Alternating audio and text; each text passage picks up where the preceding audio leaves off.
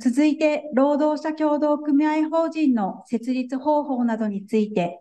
労働者協同組合ワーカーズコープセンター事業団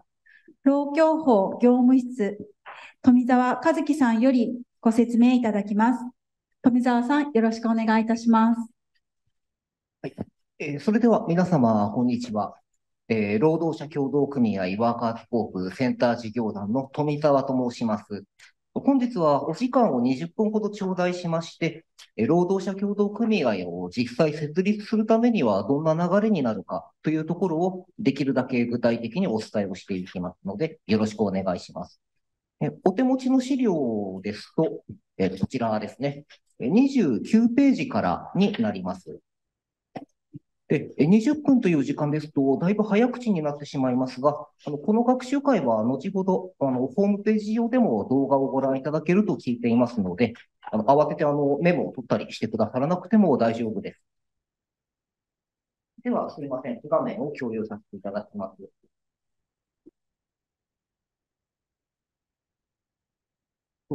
では、えー、スライドの2番ですね。新規設立の流れというところ。設立の流れをいくつかに区切りますと、えー、1番に発起人を3人以上集める。2番に必要書面、定款などを作成をする。それから創立総会の広告といったような手順に分けられます。厚生労働省のホームページでも、ここにあるような8つの工程に分かれておりまして、ここに肉付けをしながらお伝えしていきたいと思います。で、設立にはどのくらいの期間がかかるのですかと聞かれることも多いんですが、えー、画面上に、えー、2週間以上とか2週間以内と書かれているところにも、えー、注意が必要ですが、えー、最短では1ヶ月ほどで設立は可能であるということが言えます。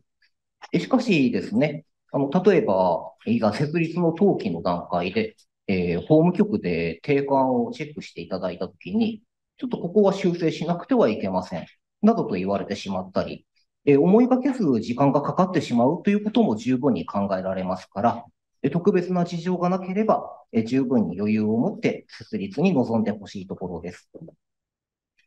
えでは、8つの工程のうち1番目。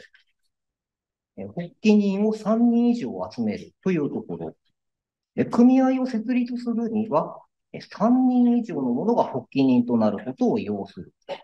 しかし、その後でですね、理事の定数は3人以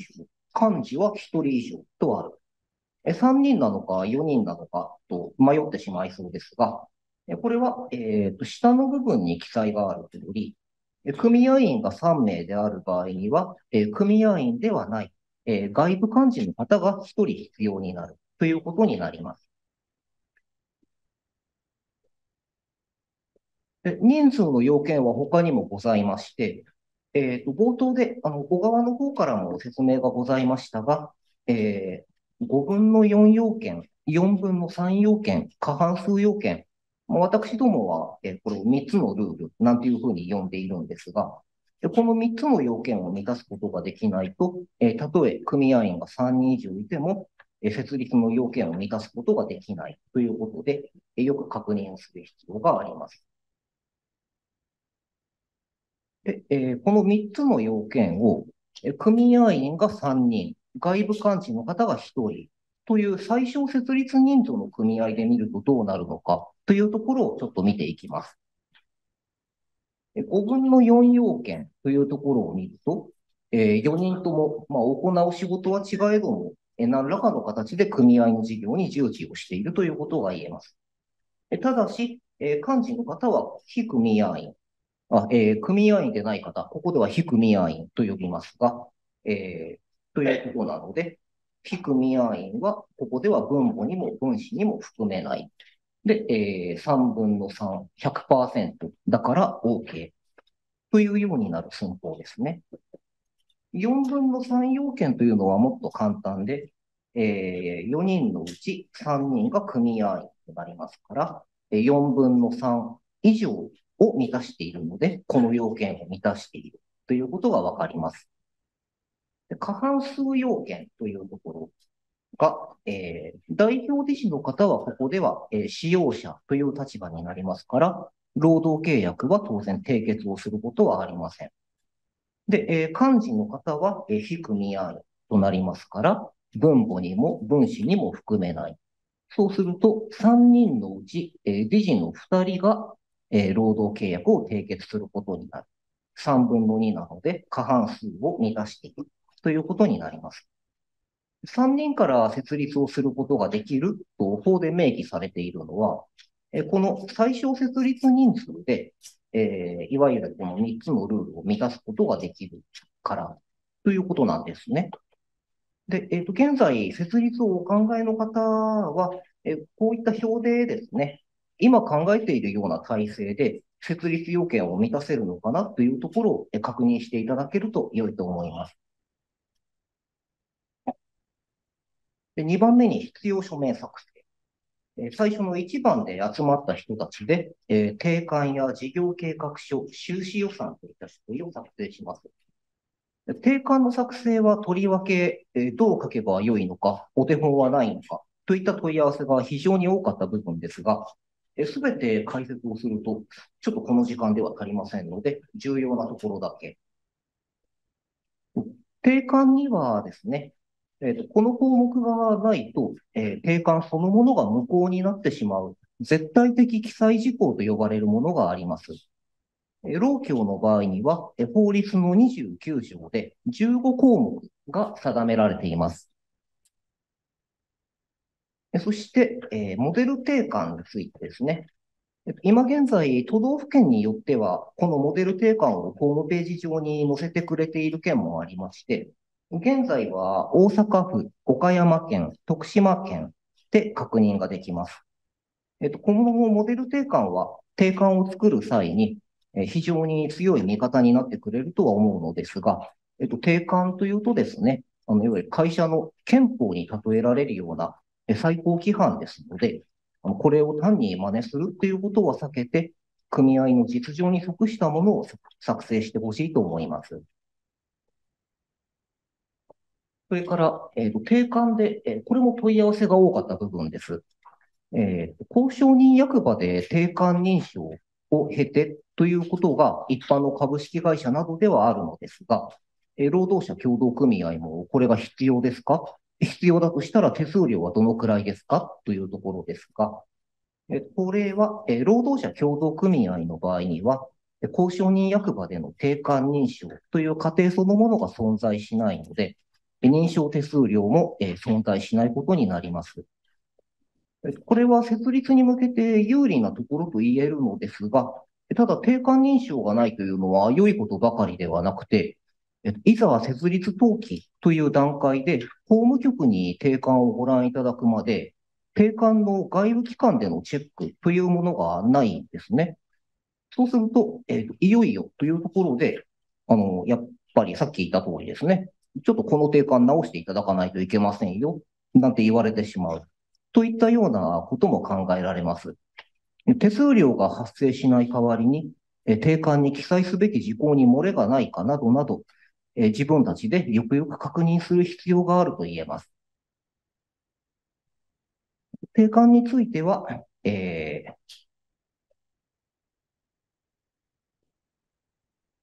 もえ、絶対的記載事項が15項目あること、それからモデル定款が、え、今複数の件で見られること、え、認証手数料が発生しないこと、この3点について、え、押さえていただければと思います。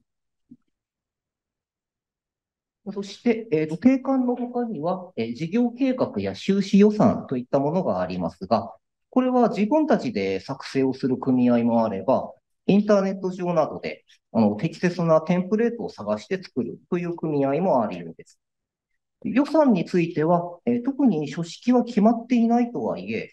あの当該の年度だけではなくて、えー、事業が軌道に乗るまでの間について作成をするべきだと思っています。あの、労働者協同組合、え、組合員が、え、出資をして自分たちで働くという組合であるんですけれども、えーと、つまり資金調達といえば基本的には組合員からの出資金が頼みですから、事業が軌道に乗るまでの初期投資としていくらぐらい集めなくてはいけないか。そのためには出資金を一口いくらぐらいに設定したらよいか、組合員のみんなはいくらぐらいまで許容できるか、といったような視点がとても大切になります。実際に、え組合を作りたいんだけれど、出資金は一口いくらぐらいに設定したらよいですか？という問い合わせ、えとても多く受けました。それから、え役員の、え案というところですね。えっと、この創立総会の前の段階では必ずしも、え役員、理事、幹事を決めていなくても良いんですが、えここで案について固めてしまうと、創立総会もスムーズに運ぶことができると思います。こういった必要書類を作成しましたら、え創立総会なんですけれども、え創立総会の前に広告といって、え創立総会を行いますということを広く周知しなくてはいけません。で、これも詳しい方からは、えー広告にあたっては、あの、官報を申し込むことが必要ですかと聞かれることが多いんですが、えっと、このスライドの一番下の部分ですね。え組合は広告方法として、当該事務所の店頭に掲示する方法のほか、官報、日刊新聞紙といった手段があるということですから、すでに事務所が決まっていれば、その店頭にこう張り紙をするっていう形で広告が可能なんですね。で、えーこの広告を終えたら、えーいよいよ創立総会になります。創立総会では、えーここにあります通り、えー定款の承認、え事業計画、収支予算の議決、役員の選挙といったことを行います。で肝心の議決については、えー半数以上の出席と、えーその議決権の3分の2以上で決するということになります。で、えーと、ここで、このスライドからはちょっと読み取れないんですけれども、えー注意事項が一つありまして、代表理事はこの創立総会で選出をするわけではないというところです。で創立総会で選出をするのは、えー理事、幹事といった役員であって、その後に行う第1回目の理事会で、え理事の中から代表理事を選任するという流れになります。第1回目の理事会を創立総会と同じ日に行うことは差し支えなくて、え代表理事が不在のまま日数を、え日数が経過してしまうということは望ましくないので、え多くの組合で、え創立総会と同じ日に、え第1回目の理事会も行ってしまって、え代表理事を選任してしまうということがほとんどではないかと思われます。そして議事録の作成なんですが、え創立総会も、え理事会も、もえ法律で、えこの議事録作成しなくてはならないということが求められていて、どんな内容を記載するかも、え法律の施行規則の中で明記がされています。ここは登記の段階でもう一度触れたいと思います。そして創立総会の後で、えー発起人としてこの法人の設立に、え向けて事務を取り行ってきた人たちは、総会で選出された理事に事務を引き継ぎます。で、労協の場合には、組合員になろうとする者が、えーなろうとする3人以上の者が発起人となるとありますから、ほとんどの場合、発起人の方がそのまま理事になるものと思います。で、えーこの後、組合員に第1回目の出資金の払い込みをしてもらうんですが、あの、出資金の払い込みをする、させるといったところは、ちょっとなかなか、えーっと、ピンとこないところでもありますので、あの、払い込みに関する質問も多く受けました。で、確かに、この段階では、組合の通帳を作ろうとしても作れないですから、あの、出資の引き受けに通帳を使いたいというときには、誰の、えどこの通帳を使えばよいか、といった疑問が出てくると思います。で、え実務上は、え代表発起人の方が通帳を用意する。あるいは、えま、使用していない通帳があれば、えそこに一旦は預け入れるという形でも可能です。で、通帳よりも重要なのは、今スライドに出ております、えー出資引受証とえー出資払い込み領収書の控えというものでして、で創立総会の後でですね、各々の組合員が出資引受書を記入して、それを受けて、代表理事が隣の出資払い込み領収書を記載して、組合員に渡す。でそして控えは手元に残しておく。というやり取りが生じます。これがなぜ重要かっていうと、この後にお伝えをする設立登記の段階で、この出資引受書と出資払い込み領収書の控えが必要になるからですね。そして、えー、創立総会と出資の払い込みが終わりましたら、えー、法務局での設立の登記になります。えーと、冒頭にもあります通り、えー、組合は、えー、登記をすることによって成立するとありありますので、非常に重要な過程になります。でいつまでにすればよいかというと、これは、え出資の払い込みが終了した日から2週間以内とされています。では、何が必要になるかというのがこちらのスライドです。まず1番に、えー、設立登記申請書と、えー、別紙。あ、申し訳ございません。ちょっとお手元の資料では、えー、別紙、記載すべき事項となっているかと思いますが、こちらは申し訳ありません。正しくは登記すべき事項です。申し訳ございません。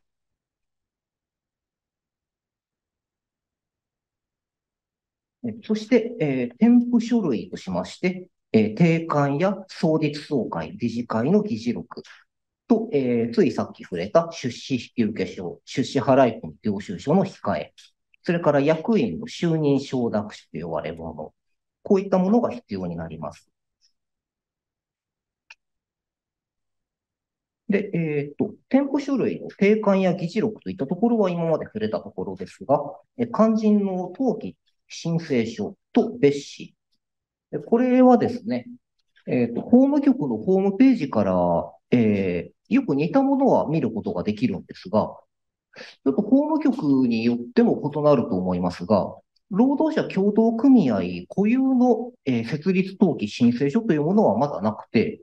えー、労協と登記するべき事項がよく似ている事業協同組合という法人格の登記申請書を流用して作るようにと助言をもらうことが多いようです。で、この事業協同組合の設立登記申請書は法務局のホームページからダウンロードすることができまして、先ほど添付書類で見た中で、えー、ちょっと触れることのなかった6番の役員の就任承諾書。こちらも、えー、設立登記申請書の中に含まれています。それから、えー、順番が前後してしまいましたが、この設立登記申請書に法人員が必要になりますので、この段階では少なくとも、法人員を用意しておくということが必要です。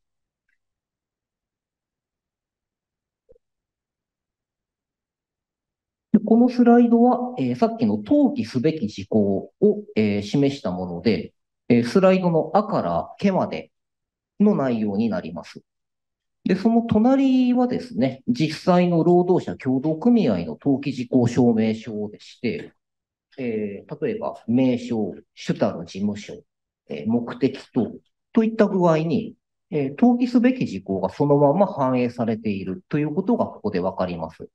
ですので、この別紙に書く情報は、えー、とりわけ注意が必要ということが言えます。最後に、これは労協に限ってではありませんが、法務局で設立登記に行くと、同時にこの印鑑届書の提出を求められます。法人の印鑑を、えー、これが、まあ、会社の実印ですよというふうに登録をするんですが、ここで、えー、法人員と、それから代表社員、その印鑑証明が必要になります。で、えー、この後ですね、あの、登記の申請に、まあ、修正があるかないかとかにもよってきますが、おおむね1週間ぐらいで登記が完了して、先ほどご覧いただいた登記事項証明書が取得できるようになります。それから設立登記にかかるところでは、あの登録免許税の問い合わせも多かったです。で、今、右下にあるこちらは、あの厚生労働省の知りたい労働者協同組合法というホームページからの画面コピーなんですが、えー、とここに、えー、登録免許税、労協の場合は設立登記等については非課税であるということが明記されています。ちなみに、えー、設立登記等とあるので、あの、役員の変更登記とか、あとは支店変更追加といったところも、えー、登記は非課税になるんですね。であの、例えば一般社団法人などですと、役員の変更登記で1万円、それから支店の追加などで1件3万円がかかる、かかりますから、えっと、この変更登記等が非課税であるということ、意外に大きなメリットだと思います。で、設立までの費用がどのくらいかっていうことも聞かれるんですが、冒頭で定款の認証にかかるというか、認証そのものがなくて、手数料も発生しないということについて触れました。それからせ、えっと、この登録免許税も非課税であるというところですので、設立にかかる費用としては、えー、印鑑の費用とか、登記簿の取得手数料、まあ、法務局まで行き来する交通費といった実費相当額と見て良いのではないかというふうにお答えをしています。で、えー、法務局での登記が済むともう一息ですね。えー、行政庁、えー、労協の場合には都道府県になりますが、この都道府県に対して成立後2週間以内に、えー、届け出を行わなくてはなりません。埼玉県の場合には、えー、本日もお越しいただいております、えー、産業労働部多様な働き方推進課様になります。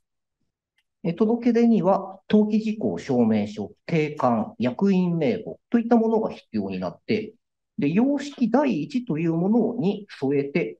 ということでありまして、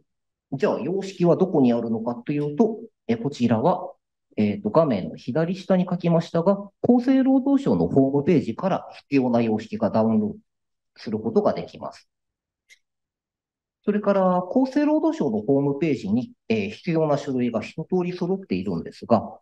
埼玉県のホームページにおいてもですね、必要な書類がわかりやすくまとめられていて、あの、こういう時はこの書類っていった具合に、えー、わかりやすくまとめられていますので、こちらもぜひご活用ください。で、あの、法務局での登記が済んだ後に、この都道府県への届け出をうっかり忘れてしまうというケースが全国でちょっと散見されるようですので、ご注意いただければと思います。と、えー、最後にですね、ちょっと画面上で非常に小さくて申し訳ないのですが、これは労協でない法人格でも同じことですが、法人の設立後、例えば、え県税事務所や市区町村、それから税務署といったところに、え、法人設立、設置の届出書を出したり、あと税務署ですと、おそらく、あの、青色申告と承認申請なども必要になりますね。あとは、労働基準監督署に、成立届を。といった具合に提出書類が多くあります。でこのスライドは、えー、埼玉県の坂戸市でもしも設立をしたら、ということで考えて作ったものでして、えこれがチェック表にはなり得ないんですが、まあ、参考の資料としてお使いいただけるかと思います。で、えー、最後になりますが、あのどの法人格が有利でしょうかということを、え、非常に多く聞かれるんですが、こればっかりは業種とか規模とかいろいろな要因によって異なりますから、答えは難しいところです。ただ、設立にかかる期間、費用、人数が少なくて、え設立が非常にしやすいという面で、え労協、とても優れているのではないかと感じます。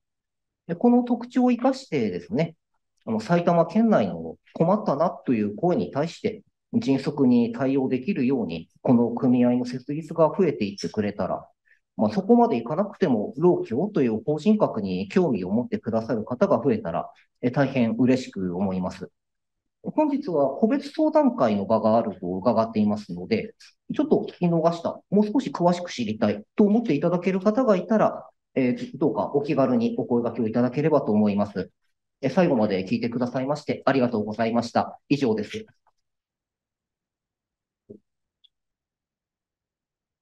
富澤さん、ありがとうございました。